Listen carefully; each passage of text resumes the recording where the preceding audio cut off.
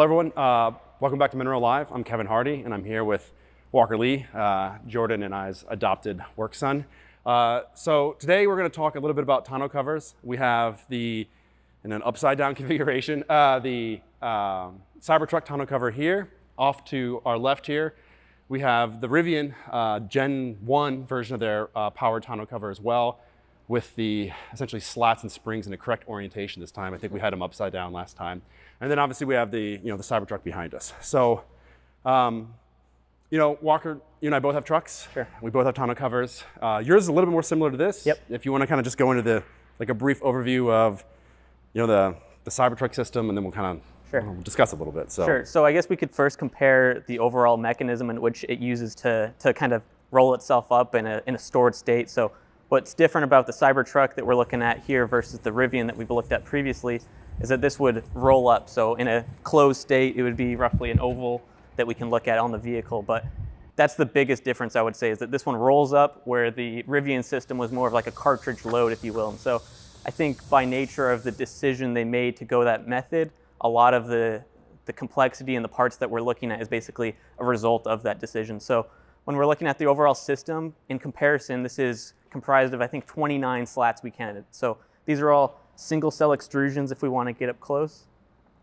So in contrast to the Rivian system, they had, I think, three cell extrusions. So they basically made up what would be three of these combined. Yeah, we have a cross section here. So when you're looking at the overall length of these extrusions making up the tonneau cover, when you, I think we were kind of speaking beforehand that the amount of slats they had to do is partially just a result of the decision to do a, a roll-up method. Right.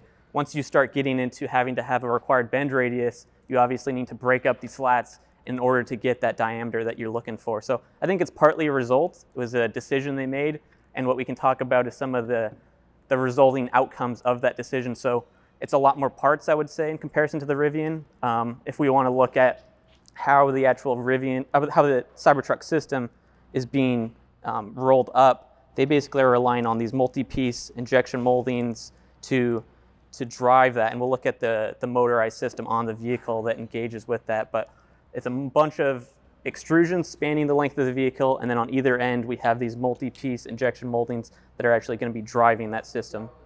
So I kind of have it separated here. Actually, when we first took this apart, it kind of fell apart. I was actually super surprised to see these as two separate pieces because they kind of look like a, a drive wheel on a tank. Actually, this whole system kind of is very similar to a tank. We were, we were making some comparisons to that last time we were talking about the Rivian. Um, but um, it does make sense when you kind of think about it, right? So, you know, you can put these, probably, you know, 100 of these in a cavity, offset um, where the tool is kind of closing, essentially you, don't, you wouldn't have a part line. If we were to do this as one piece, you'd have a lot of tool complexity there, depending on its orientation, and then part lines on bearing surfaces. So it makes sense to see these as two separate pieces. They just make a whole bunch of them all at once. So a little surprised, but it, again, from a manufacturing perspective, completely makes sense for it to be a separate piece. But you can see essentially on every one of these legs here, you know, the, the axle, we have a kind of a, a bearing itself, and then these two rollers, and then a dog leg that connects them, and then this goes throughout. So Yeah, and I think the other thing worth mentioning on these parts themselves is if we look real closely, um, these are POM, at least this specific one called out, and that would be to be expected. The, the POM has a high lubricity, and so these pieces are going to be cycled over and over again, and so that uh, makes sense to choose that material for the kind of um, work that's being required of it. Yeah, it's a little expensive, Yep. and we see it oftentimes, like in ICE vehicles, you'll see a POM all the time in fuel systems Yep. because it has a lot of um, resistance essentially to various oils Yeah. and things of that nature, and essentially the, Yeah. the hostile environment that you find in a fuel tank. Yeah, I think one of the things that, that you saw on the Rivian system was it hadn't been cycled a lot, but we saw a lot of wear and tear on the plastic components. So Right. this would be why you would select this higher grade material is to avoid some of that wear and tear on the plastic parts. Thanks to the Three Dimensional Services Group for sponsoring this video. Whether you're looking to source metal stamping, precision CNC machining, laser cutting, welded assembly, or plastic injection molding, the Three Dimensional Services Group should be the source to transform your EV, aerospace, appliance, or technology designs into reality, while also providing a bridge to start of production. Hey, boys and girls, I'm here with Dan, and we're at um, Three Dimensional Services Group. And um, Dan, uh, this is pretty impressive. Why don't you give us a little background on, um, on what you guys do here? Okay, well, uh, the Three Dimensional Services Group was founded by Douglas Peterson 31 years ago. Uh, we've grown into the world's largest, most capable, and most agile prototype and low volume manufacturer. In essence, we're a job shop on steroids. We work with the world's most innovative companies to validate their designs, and then we're able to take our low volume manufacturing processes and scale them across a massive amount of equipment to allow us to support volumes that a traditional prototype shop would never be able to support. Uh, we, we're always working with our clients to accelerate their product development type timelines and enable them to be as successful as possible by bringing their market or their products to market as quickly as possible. So coming over to the, the R1T setup, um, we essentially have the, the magazine or the cartridge, if you will, um, removed from the assembly itself. So it rides on this, um, the carrier, you have the springs. There's two plates that the springs um, actuate against and they slide across the bottom of this carrier. They're missing somewhere. Um, but essentially all these slats sit in this magazine and you can kind of see right here um, that this is how it essentially feeds out like a Pez dispenser, um, the slats themselves. And then you push it back in and you can see the gear train portions with it are, are, are missing. Um, but it is a single motor on one side, much smaller than a Cybertruck, and then there is essentially one small drive rod um, that has a fair amount of, um, what's the word I'm looking for? Like slop. Not slop. Um, hmm. There it is. Can't think of it. Uh, um, compliance. There, There we we go. go. So that runs across, right? So they are bracing it, um, but it does have some compliance um, and wind up across the board. But uh, you know, overall, that's kind of the, the, the basic functionality with it. It essentially is dispersing slots. These extrusions have only one seal per side, in contrast to the Cybertruck. Uh, every every joint has kind of a seal there. Um, and then it just rolls out and locks into place. Um, I should say slides out and locks into place itself. Yeah, I guess in comparison to the actual mechanism that's being driven, um, here we have, uh, again, I think this outer portion is an ex- extrusion that we looked at, and then overmolded with probably POM again, a similar material. I think it's just pressed and then they it swage it in place? place. Yeah. Gotcha. So, so uh, okay, yeah. So this is a there is an insert. It is an overmold, and then this is inserted and then swaged in place. A few more operations. A few more operations, but um, I'm glad we cleared that up. Yeah, and again, we, we still haven't seen the version two of the system. You know, uh, here is kind of a section that we have cut. I'd love to see. I, I'm hoping, you know, that they kind of have done something similar with these slats on the side. You know, actual perforations through it with cogs that drive through it. Very similar to essentially how this is done on a Cybertruck. Um, do you want to go into the Cybertruck and kind of Yeah. overlay this real quick? Um, let's see here. Let me put this back together. Um, but it, it's, you know, one of the things that I, I do find interesting, and obviously I find lots of things interesting, uh, um, is both these vehicles, and it's, I mean, there's not many electric trucks, right? Yeah. But they've both favored from the get go essentially hard, lockable storage, right? So you have a, a similar tonneau cover on yours.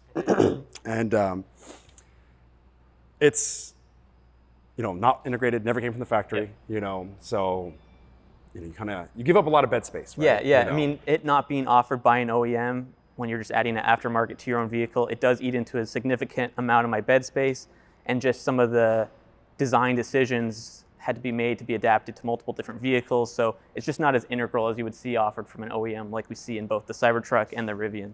Yeah, So it's pretty interesting. So I think there's another one. Uh, it just uh, I don't know if it'll be a oh god uh, a trend that continues, right?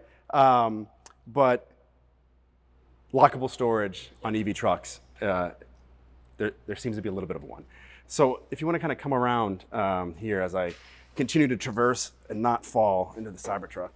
Oh. Alrighty.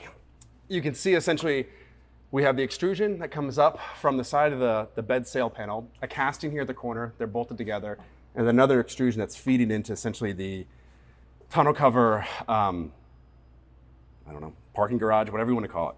But you can see here the motor, which the, the motor gearbox and everything about this is significantly larger um, and essentially is redundant, if you will.